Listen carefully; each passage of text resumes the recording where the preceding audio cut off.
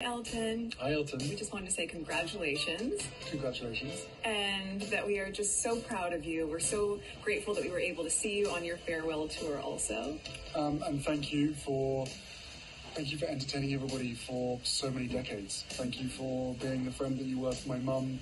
Thank you for being our friend. Thank you for being friends to our kids. And thank you for entertaining people right around the world. Um, even though this is officially your retirement, uh, this will not be your last gig. We know that. Um, but we love you and congratulations on an incredible career. For more videos like this, make sure you follow